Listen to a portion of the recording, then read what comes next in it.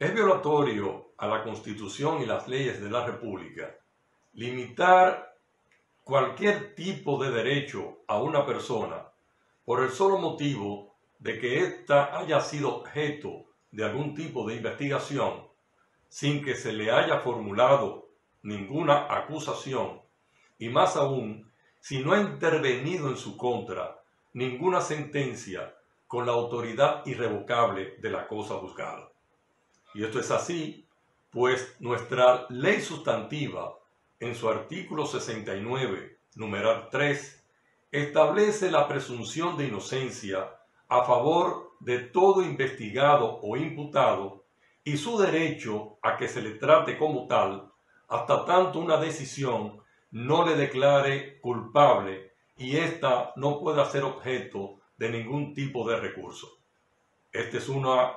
de las garantías del debido proceso que protege a todo ciudadano de injusticias y atropellos, sobre todo cuando sus casos han sido ventilados en la opinión pública y algunos le consideran culpable.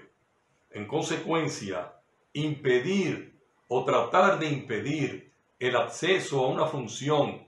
pública o privada por el solo hecho de que la persona haya sido objeto de algún tipo de investigación sin que se le haya formulado acusación, se le considere como culpable de comisión de algún acto de corrupción, pero sin ningún tipo de pruebas ni ninguna condenación, resulta totalmente inaceptable en un Estado social y democrático de derecho como en el que vivimos, y peor aún si se trata de una persona joven,